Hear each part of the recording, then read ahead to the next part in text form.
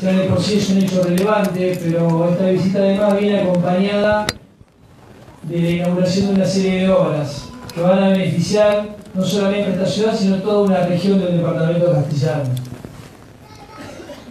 97 familias de Humberto, de Progreso, de Rafaela, hoy van a cumplir el sueño del techo propio,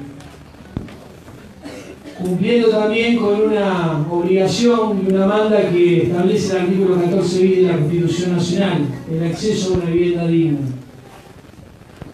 También hay otras obras que van a beneficiar a localidades como los accesos que va a inaugurar el gobernador unas horas después de este acto. Y también, como hicimos hace unos minutos, inaugurar y poner en, en función la obra de pavimentación de la avenida Perón en su mano norte que jerarquiza el suelo industrial de Rafael y que fortalece todo el entramado productivo de esta ciudad y de esta región. Pero en el caso puntual de la ciclovía que va a unir a Visitalia con Rafaela, es una obra que, además de una importante inversión que hace el corredor vial junto con el gobierno provincial, va a posibilitar tener una mejor conectividad que permita a aquellos vecinos que viven en Rafaela pero que trabajan en Visitalia y viceversa, poder trasladarse de una manera mucho más segura y de una manera mucho más eficiente a sus respectivos lugares de trabajo. Pero además también va a permitir, una vez completada la obra, dedicar ese espacio también a la recreación, al deporte y al traslado de aquellos vecinos que quieran ir de una localidad a otra de una manera mucho más sustentable, usando medios alternativos como la bicicleta.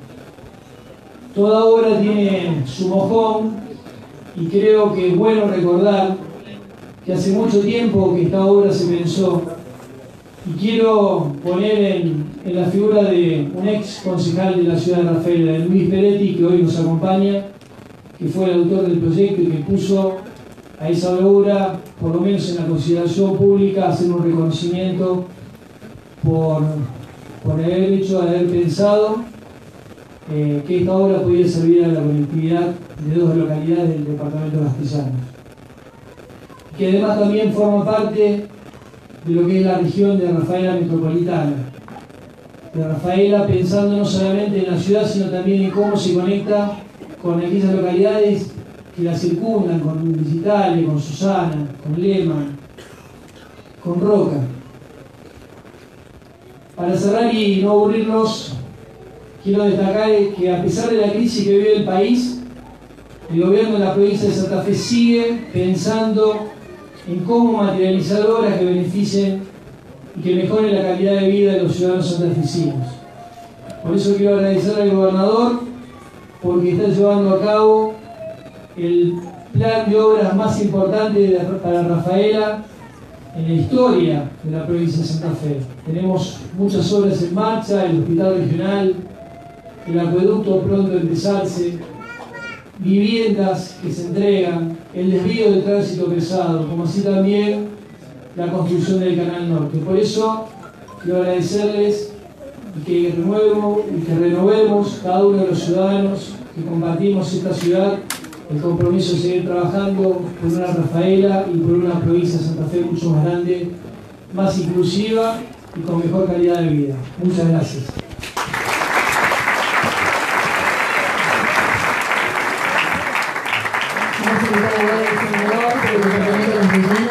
Rodríguez Calvo para que también nos deje su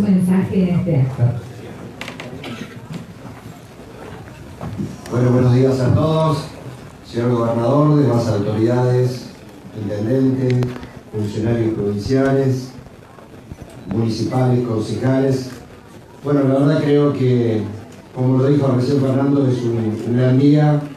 Venimos de una recorrida y falta algo más de algunas otras localidades pero realmente creo que hay dos conceptos muy claros para ser concretos. Uno es el tema de la conectividad, la conexión que, que tiene que unir pueblos y ciudades, pero también junto con ello no solamente las personas, sino la producción. Y por otro lado, el tema de una vivienda, el tema del techo propio. Y creo que es la base, junto con el trabajo, los elementos fundamentales para, la integralidad de un, de un ser humano y la vida en familia. Y en ese aspecto, por eso creo que estamos acá junto con todos ustedes. Quiero felicitar a todos los futuros poseedores de estas viviendas tan hermosas que están aquí al lado y creo que la presencia, no solamente compartir este momento junto con el gobernador, junto con todas las autoridades, sino también el firme compromiso como dirigente, eh, como funcionario, de que ojalá podamos tener muchísimas más viviendas, muchos más kilómetros de caminos recorridos, mucha mejor calidad de vida y con eso poder lograr la felicidad de mucha gente. Junto con ustedes, pero con nosotros, cumpliendo esa función, ojalá lo podamos hacer realidad. Felicitaciones.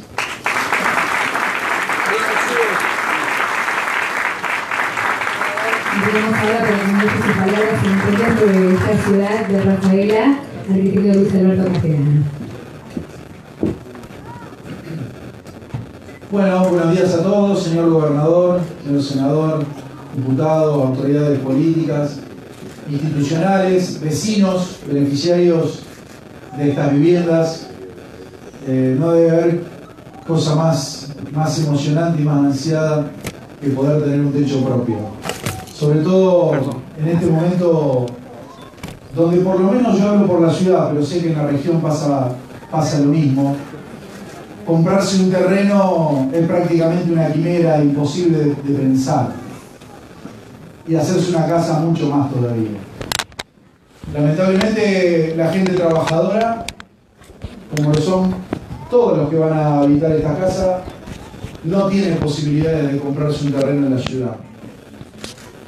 Y eso nos ha puesto a nosotros, al Estado, en este caso el Estado local, el Estado municipal, el Estado provincial y también el Estado nacional, a trabajar para, para algo que antes no era necesario porque lo resolvía el sector privado, y es que los sectores medios y trabajadores y hasta incluso profesionales puedan tener una vivienda propia. Y esto es parte de eso. Este terreno sobre el cual se construye la vivienda es un terreno del Instituto Municipal de la Vivienda y hay fondos para construir estas casas que están combinados entre fondos nacionales y fondos provinciales. Pero no alcanza. Estamos con estas 53 viviendas, 54 viviendas, y no alcanza porque en realidad tenemos una lista de casi 4.000 familias que están esperando una posibilidad. Y es durísimo, y es durísimo ver cómo la gente ya no puede llegar a pagar el alquiler, cómo necesita la posibilidad de tener un terreno propio y no podemos ayudar y no podemos brindárselo.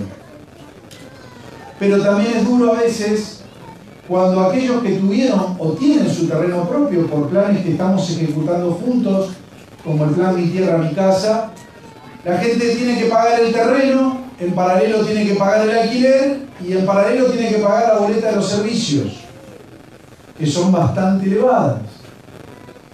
Por eso estamos trabajando juntos con el gobierno de la provincia en dos temas.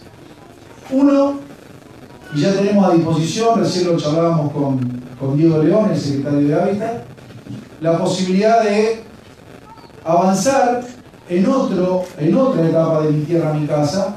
Tenemos, señor gobernador, 600 lotes o lugar para 600 lotes previstos que son municipales para poder dar una etapa nueva y poder atender esas familias que necesitan, más de 4.000. Y también la posibilidad de elaborar una canasta de materiales, un pequeño crédito, muy pequeño, pero que a la gente le sirve para comprar materiales para poder ir a ese terreno. Y que ese terreno no quede como un lugar lleno de yuyo que provoque después inseguridad y que la gente no pueda mudar si no puede utilizarlo. Esto es fundamental fundamental además también para que la gente se traslade, salga del alquiler rápidamente y pueda empezar a entender que esa plata que tiene no la malgasta en un alquiler, sino que la pone en un ladrillo para su casa propia. Y eso es lo que queremos y eso es lo que necesitamos. Y en ese norte estamos. Así que Agradecerle, señor gobernador, a todo el equipo, a todo el equipo de Hábitat, a todos los que participaron. Agradecer al gobierno provincial y al gobierno, nacional por poder llegar a esta concreción. Y acá tenemos más lotes también, ¿eh? para poder seguir haciendo vivienda. Quedan todavía 30 lotes más para poder seguir haciendo viviendas. Hay que utilizarlos, hay que aprovecharlos y hay que darle la oportunidad a mayor cantidad de familias. La necesidad es grande, así que en el futuro ojalá nos encuentre siempre trabajando por tanta gente que necesita que le demos una mano. Muchísimas gracias a todos por estar, muchísimas gracias señor gobernador por acompañarnos.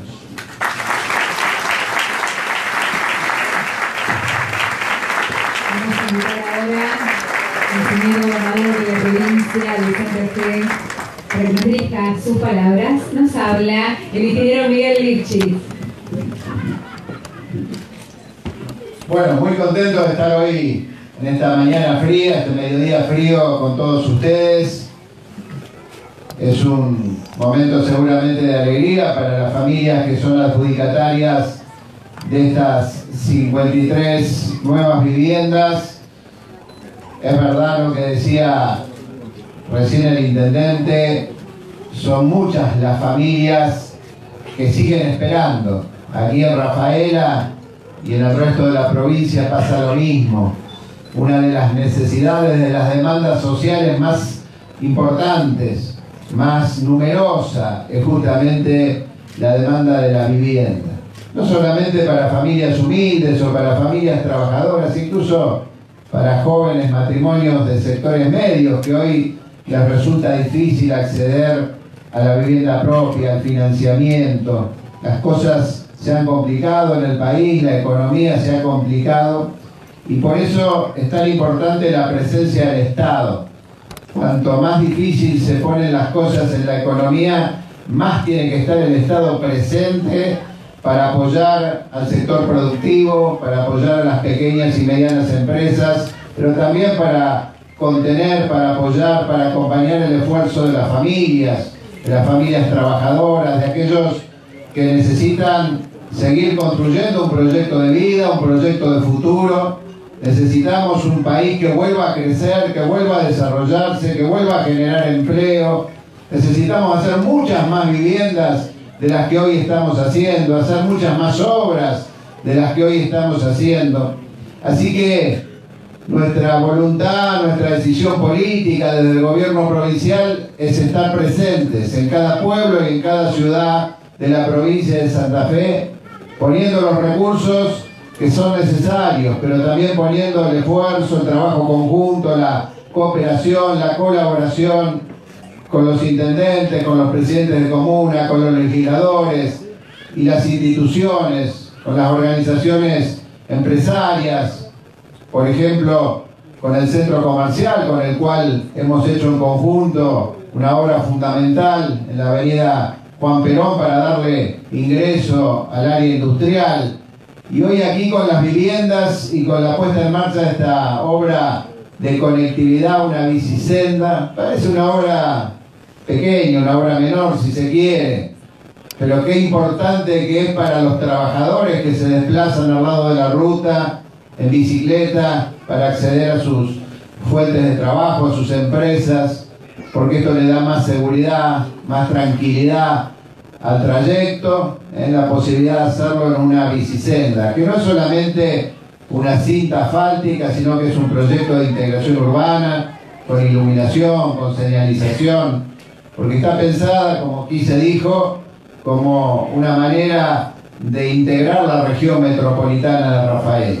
La ciudad de Rafaela no es solamente la ciudad, sino que es una región muy importante, integrada por localidades más pequeñas, que están próximas, pero que en definitiva tienen los mismos problemas, las mismas dificultades y necesitan obras de conectividad, de conexión para toda la gente que va y viene desde un lugar hacia el otro.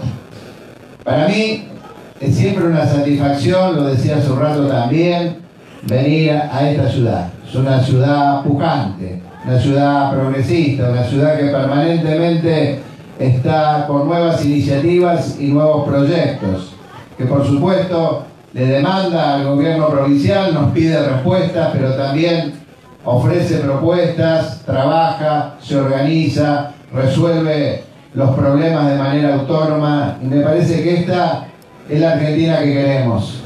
Ojalá todo el país se mirara más en Rafaela, se mirara más en Santa Fe, porque creo que el país del trabajo, de la producción, el país del esfuerzo, el país que mira al futuro y que no se entretiene discutiendo el pasado, es el país que vemos aquí. Y creo que la Argentina necesita encontrar el rumbo de un proyecto de desarrollo, de progreso, de crecimiento que nos incluya a todos, que incluya a los empresarios, pero también a los trabajadores, que incluya a las grandes ciudades, pero también a los pueblos más pequeños del interior, a las economías regionales. Así que simplemente confirmarles, ratificarles nuestro compromiso con esta ciudad, con este departamento, nuestro compromiso con cada familia trabajadora, con cada pequeño empresario, con cada pequeño comerciante, con las instituciones. Tenemos que seguir, trabajando juntos por una gran provincia de Santa Fe. Hace más de 200 años, quien fuera el primer gobernador de esta provincia, el brigadier Estanislao López, le puso el título de Invencible. En aquel momento la llamaban Invencible porque sus montoneras, sus tropas de gauchos y de milicianos eran imbatibles en la batalla, en las batallas por la independencia, por la defensa del federalismo. Hoy ya no, no, vivimos épocas de ese tipo de batallas y de ese tipo de, de enfrentamientos, pero sí podemos pensarnos en una provincia invencible en el progreso, una provincia invencible en el trabajo, en la producción, invencible en la solidaridad. Así que muchas gracias Rafaela, gracias y felicitaciones a estas 53 familias que hoy van a tener la llave de su casa propia y ojalá todos juntos podamos seguir haciendo muchas viviendas más. Gracias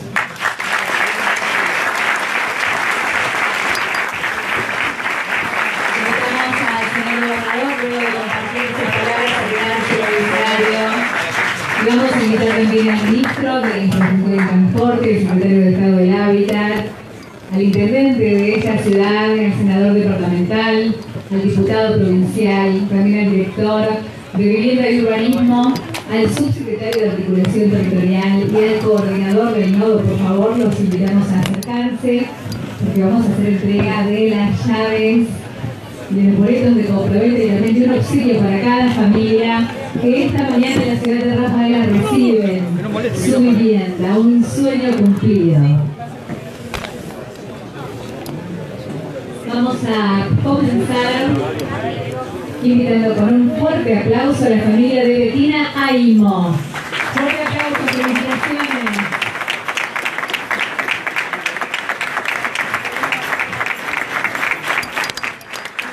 Allí viene primera de las 53 familias. Recibimos ahora a Julia Alegre y su familia. Fuerte aplauso. También a Rosana Beletti. Un aplauso para ella y su familia. Bienvenida también a Analia Berta. Fuerte aplauso para recibirla.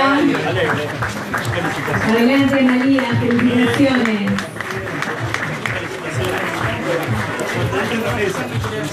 Vamos a invitar ahora a la familia de César Luis Bravo. Adelante.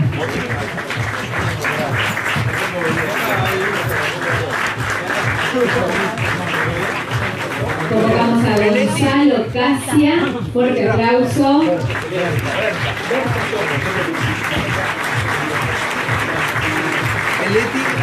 A María Victoria Carafini y a Pablo José Caballo. Fuertísimo aplauso para estos vecinos de las 53 familias